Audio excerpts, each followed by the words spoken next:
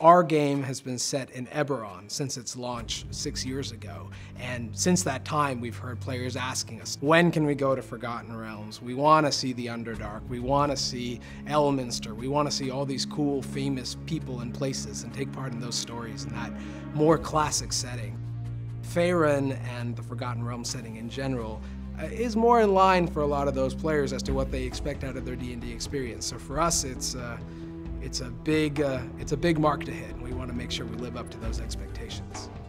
Uh, the Underdark is an underground uh, world. It's, it's basically a huge network of caves. Uh, some of the spaces open up to these huge expanses. The big hurdle and the, the difficulty in, in, creating such a space, in terms of the technical aspect, is how do you uh, create a space that's two miles high and, and, and two miles wide and, and, and, and you know, also um, the other part is like, how do you not fatigue the player of seeing rock all the time? So we, are coming up with ways where, you know, you, you might have uh, certain funguses or, or vegetation that glow in the dark. So they're not always looking at gray walls and whatnot.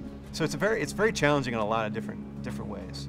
When Jeff and I, you know, started looking at uh, the Underdark and, and deciding where we wanted to take it visually, we looked at a lot of images of some of the most fantastic caves, natural occurring caves in the world. And so in my time, you know, thinking of ways to bring the space to life so that it's more than just a cave.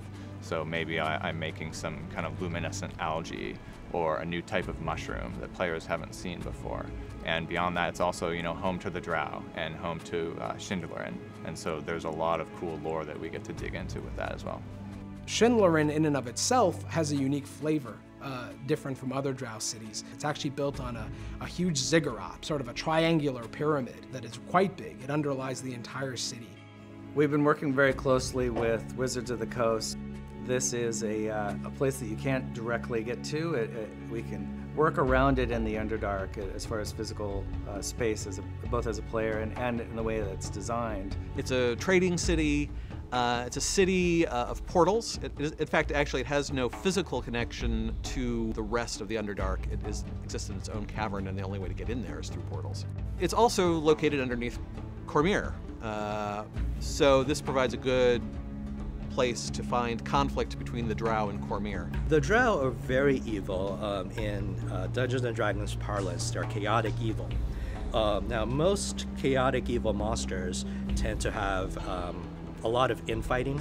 The Drow are like that, but they're a little bit more powerful and dominant. They're civilization builders. They plot against each other, they assassinate each other, or make temporary alliances to gain power. Basically, they see everybody as prey. They're all about how they can exploit somebody else to gain power for themselves. And they're very intelligent, they're high magic, they're one of the most dangerous and advanced civilizations out there, which makes them know, a really, really difficult enemy to go up against.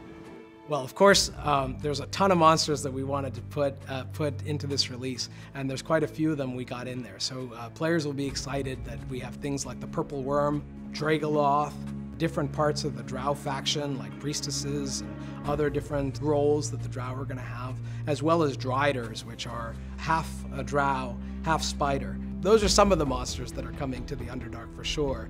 Uh, there may also be a, a brand new uh, dragon in there somewhere. If players uh, search through every corner of the space, uh, they might find a nasty encounter with a new dragon they haven't seen before. It's, it's generally a really cool space, and, and the monsters, of course, in the storyline are a big part of it.